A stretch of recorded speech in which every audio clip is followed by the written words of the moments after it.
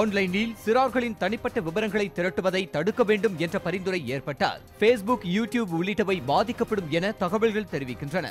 அமெரிக்காவில் சிறார்களின் ஆன்லைன் அந்தரங்க பாதுகாப்பு சட்டம் பதிமூன்று வயதுக்கு உட்பட்டவர்களுக்கு மட்டுமே பொருந்தும். இந்த நடைமுறையை தான் ஃபேஸ்புக் யூடியூப் இன்ஸ்டாகிராம் உள்ளிட்டவை இந்தியாவில் பின்பற்றுகின்றன.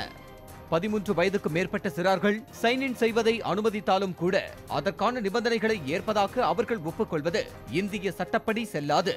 இந்நிலையில் ஆன்லைனில் சிறார்களின் தனிப்பட்ட விவரங்களை திரட்டுவது அதன் அடிப்படையில் இலக்கு வைத்து விளம்பரங்கள் செய்வது போன்றவற்றை தடுக்க வேண்டும் என ஸ்ரீ கிருஷ்ணா கமிட்டி மத்திய அரசுக்கு பரிந்துரை செய்துள்ளது. இந்த பரிந்துரைகள் ஏற்கப்பட்டால் சமூக வலைதளங்கள் மட்டுமல்ல வர்த்தக அடிப்படையில் ஆன்லைன் கோச்சிங் வழங்கும் நிறுவனங்களும் கேமிங் இணையதளங்களும் வருவாய் பாதிப்புக்குள்ளாகும் என தகவல்கள் தெரிவிக்கின்றன.